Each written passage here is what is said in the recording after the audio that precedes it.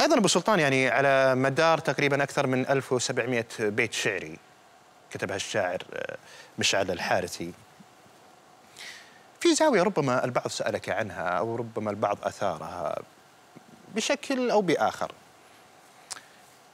جانب الحدس والتوقع والتنبؤ عند الشاعر بالذات مع الأحداث السياسية. هي كذا يعني تعتبر ضرب عشواء هكذا تخمين ولا أحيانا فعلا الشاعر يقرأ ويحلل ويشوف المقدمات ويطلع بهذه النتيجة. لك كذا قصيدة ذكرت فيها بعض التفاصيل. اللي بعد فترة شفناها رأي العين. وش قصتهم ذولي يا بصر؟ والله يا طويل العمر شوف الشاعر هو نبي في النهاية. الشاعر آه، يقول حدسه ويقول يعني آه، والتنا أنا ضد إنه إن الشاعر انه إن الموضوع إنه يصير تنبؤ. هي مجرد قراءة مستقبلية جيدة للأحداث. واطلاع لا أكثر ولا أقل. ويكون بيت الشعر قابل إنه يكون تنبؤ وقابل إنه يكون بيت شعر. عادي. آه ممكن القصيدة هذه أنت يمكنك تقصدها. إيه هذه اللي كانت في هذه البحرين. هذه لا هذه في المغرب. كان أثناء زيارة ملك حمد بن عيسى الله يحفظه ويطول عمره للأمير سلطان. كان بحضور مولاي خادم الحرمين الشريفين الملك سلمان ف كلفت إني أقول قصيدة وكان كانت القصيدة قبل الأحداث اللي صارت في في مملكة البحرين. اللي تدخل فيها درع الجزيرة. نعم. كانت قبلها بسنة تقريبا. فمن ضمن الأبيات أنا أقول ونصار ونصار ولا صار تخاطب الملك حمد. نعم. وصار ولا صار قل يا أخواني تبي تجيك حشود وتعود حشود وترى المسافة بيننا في ثواني يرجع لك الأجرب ولا كان مجرود في كف عبد الله وسيع البطاني.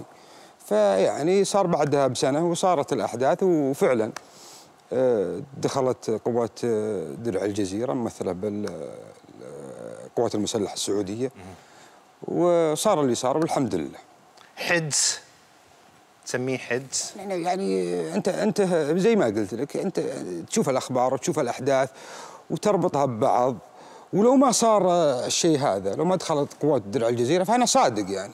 صار وما صار قل يا اخواني إحنا إخوانك سواء صار الشيء هذا ولا ما صار الشيء هذا.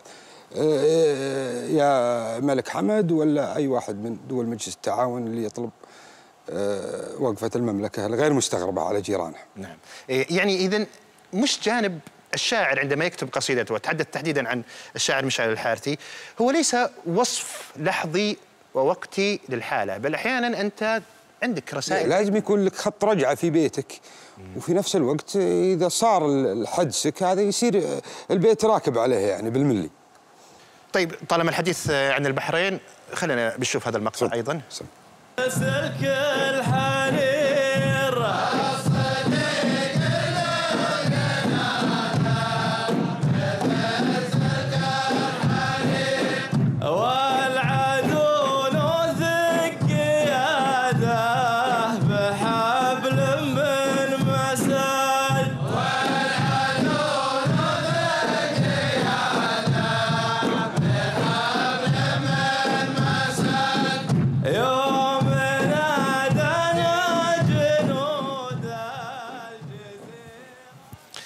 هذه أبو سلطان العرضة التي شاركت في كتابتها. صحيح. شاركت.